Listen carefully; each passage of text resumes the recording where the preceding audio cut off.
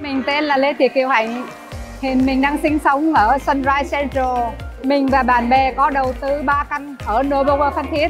Hiện tại là mình chưa nhận nhà, nhưng mà kế hoạch là khoảng cuối năm nay.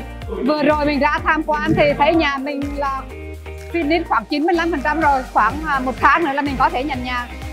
Mình mới ở Noble về có với à, một năm trước đấy thì giờ nó phát triển. Rồi công viên nước cũng đưa vào vận hành hoạt động. Với lại cái cao tốc thì thật là tuyệt vời. Hồi xưa là mình đi khoảng à, 4 5 tiếng, nhưng mà giờ có một tiếng 45 phút ta đã đến rồi.